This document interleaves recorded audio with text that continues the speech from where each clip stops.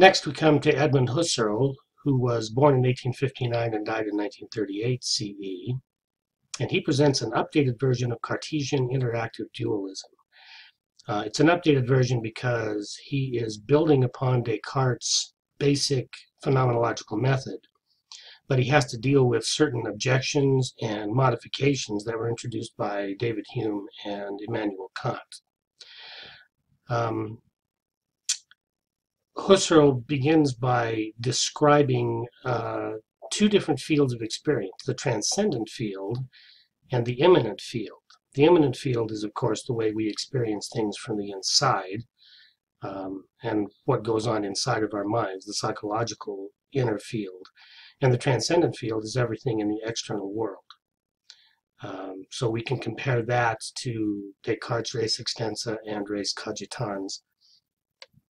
Uh, res extensa, of course, being the extended substance, and res cogitans being the thinking substance.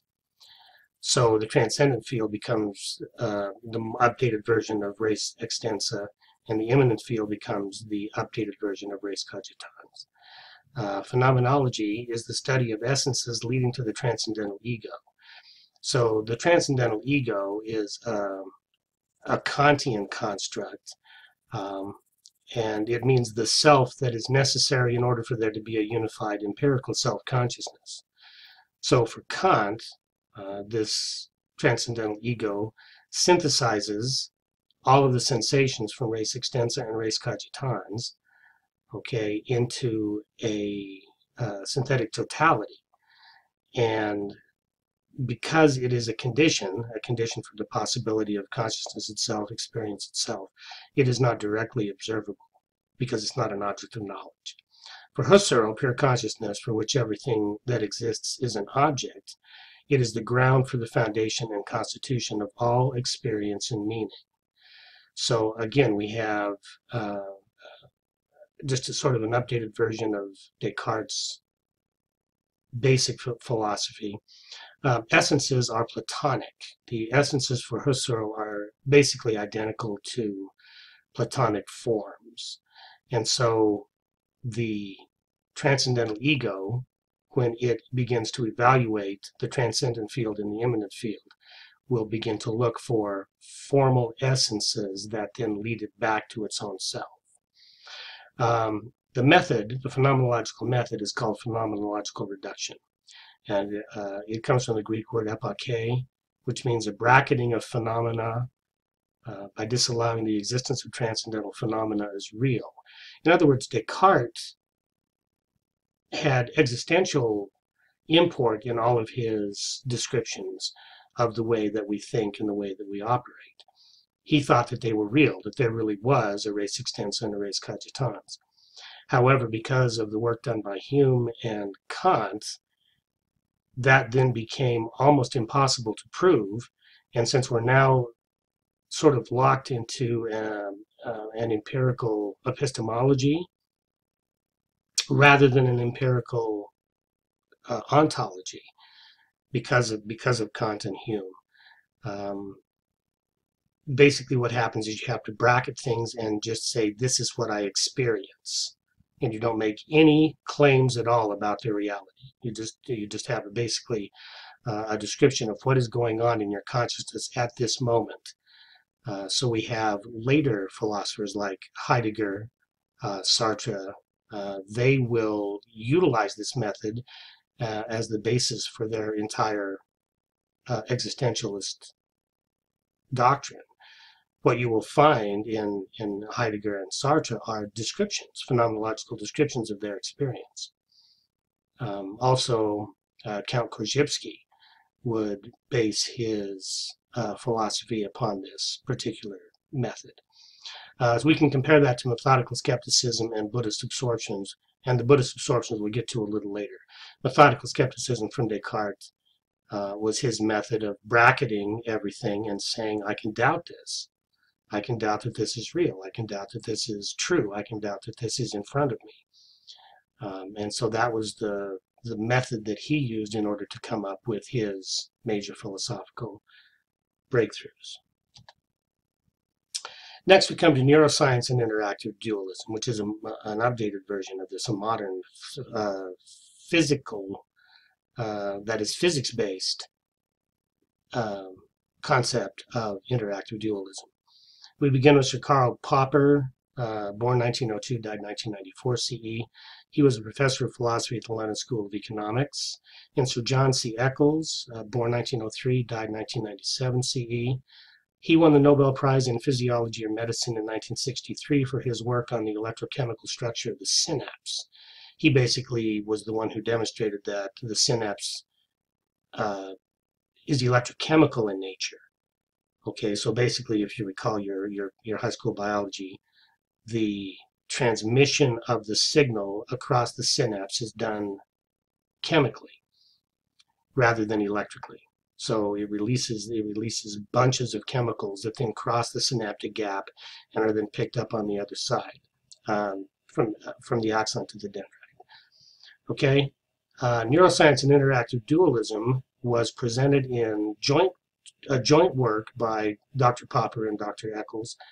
Uh, the self and it's called the self in its brain. Historical. It's an historical presentation of, of uh, all the dualistic theories, and they come down on the side of interactive dualism.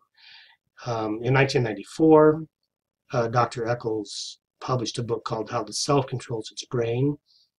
Uh, notice that self and brain are capitalized, where he presents uh, the history of the dualistic, of, intera of, of interactive dualism. And then he then presents two papers which present testable quantum models of soul-body interaction. Uh, we'll get to those in just a second. Uh, the two primary publications that present this um, this quantum model um, are called Quantum Aspects of Consciousness, uh, and you can find it out at the website noted there, and the Evolution of Consciousness, also out at uh, the uh, uh Proceedings of the National of the uh, National Academy of Sciences. And they're both free. You can just log in and, and download them. They're all in PDF versions. Very interesting reading. Okay, we then went to a class discussion, a brief history of dualist interactionism, which of course we won't have here because that's not available. And part two, tranquility meditation and interactive dualism. Detachment, synchronization, coordination, and unification of soul, body, and world. Based upon the interactive dualist model that we're using here. Uh, first, we have to understand uh, electroencephalogram brainwave patterns, and we've identified you know, roughly five different uh, brainwave patterns that are of, of interest. Uh, there's a, a, number of different sub patterns, but the five basic ones are the ones we will discuss now. And keep in mind that the brain is never in one of these states alone. All of these brainwave patterns are, are present at all times, no matter what the state of the body is or the body of the brain is. First, we have the slowest, which is delta, which is 0.5 to 3.5 hertz. It is a deep, slow wave sleep pattern. Um, it is the time when the body is basically rebuilding itself and the body and the mind are completely disconnected. There's no dreaming, there's no awareness of anything that's going on in the external world. Theta is the next highest, uh, 4 to 7 hertz. Uh, this is the, the REM sleep, rapid eye movement sleep, dreaming sleep. It's completely interdirected. Uh, there's dreaming or soul, body, and world detachment. Alpha is the next highest, 8 to 12 hertz. This is a global synchronization and interdirected state. Basically what happens is um, as the body, as the nervous system enters the alpha state, the, the, the nervous system begins to, uh, to synchronize across all of the uh, the entire brain synchronizes across the alpha wave pattern and it's a synchronized low energy meditative or hypnotic state uh, our normal waking state is the beta state 13 to 30 hertz it's normal every day unsynchronized waking state is completely outer directed it's very spiky uh, it's not synchronized at all. It's uh, it's kind of messy if you take a look at the EEG, as opposed to the alpha state, which is very very sine wave, uh, very rhythmic. Um, and then finally we have the gamma state, 31 to 150 hertz. It is a global synchronization and outer directed. So whereas the alpha is global synchronization and inner directed in a meditative or hypnotic state, the gamma state is a global synchronization uh, and it is directed towards external activity. Synchronized high energy active meditative hypnotic state. Usually we get the gamma state when we are involved in uh, high energy activities like athletics.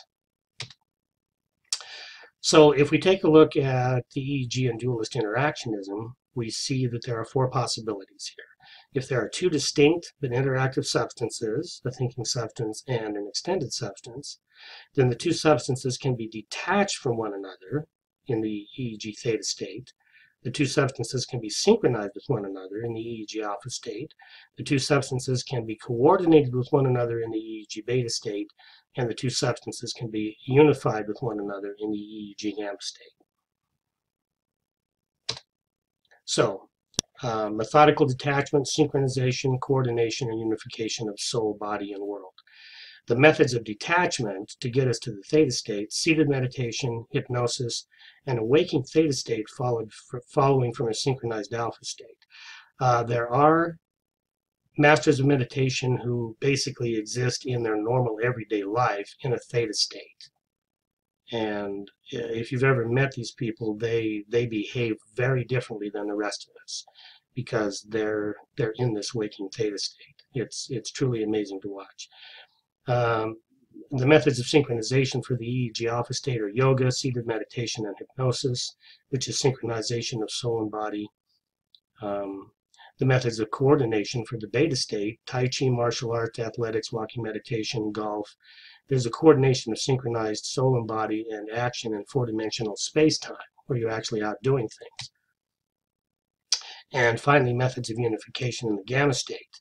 Now, Tai Chi, martial arts, athletics, walking meditation can then take you into this high energy, unified and synchronized and coordinated um, uh, state in four-dimensional space-time. It's a high-energy state. You're going to be actually, you know, physically doing things. Your your professional athletes talk about being in the zone, um, and this is what they're talking about. They're talking about basically what we are referring to as a as a gamma state. Uh, the Zen meditation community talks about it breathing, it walking, it moving, it thinking.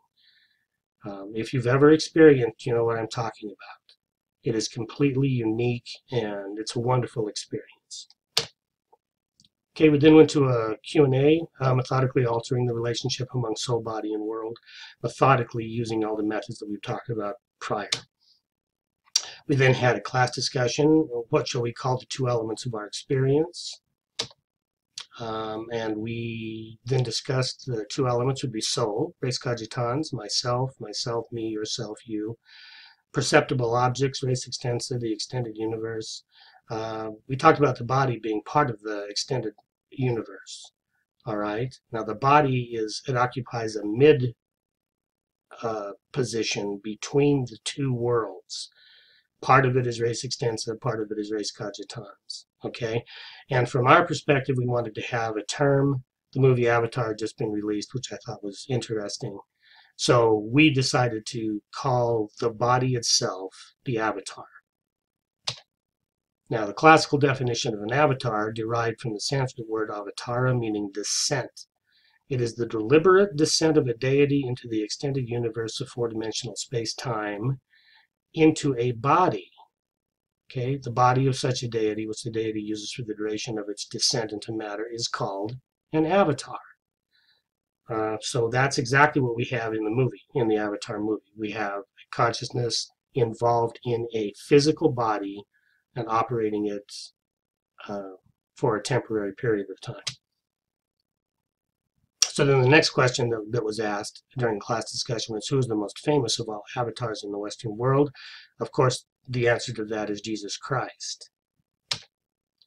Um, finally, we went to the practicum, where we were exploring the meditative absorptions. Um, we'll have a, we basically had a five-minute review of meditative absorptions, the, the theory behind them, the definitions of what the absorptions are, class discussion, Q&A, five minutes of meditative practice, more class discussion, 10 minutes more of practice, and an additional class discussion. The meditative absorptions come from the Buddhist doctrine. Uh, they're basically it's it's a it's a an ogdoadic system, which means it's it's it's based on the number eight. So everything that you see, there's the the noble eightfold path, there's the eight meditative absorptions, so on and so forth. So the first absorption is elimination of unwholesome thoughts and feelings, the production of joy and bliss. The second absorption is the elimination of applied and sustained thought, the absence of discursive thought, the production of rapture. The third absorption is the fading away of rapture and the production of equanimity and mindfulness.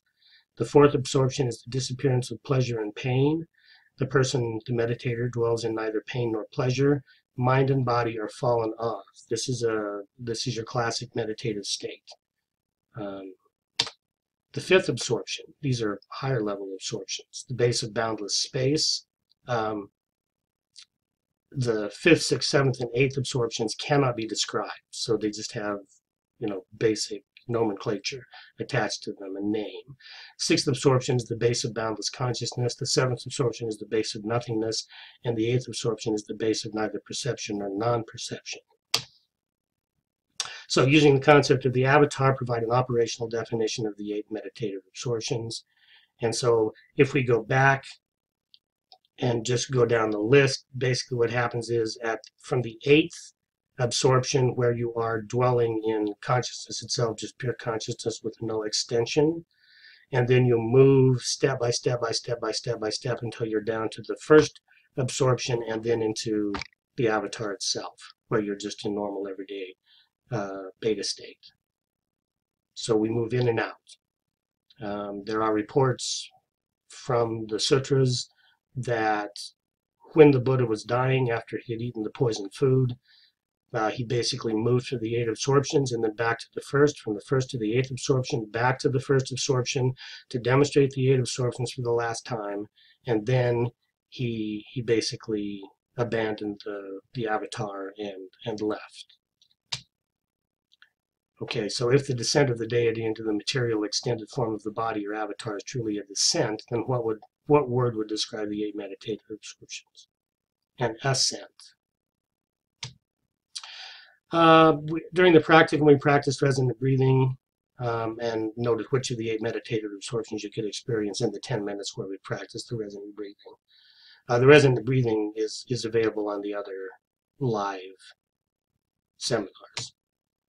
Finally, we had a class discussion and a preview of Seminar 3. The main topic for Seminar 3 will be soteriology, which is the purpose of tranquility meditation, and the practicum would be the introduction to the fair witness process.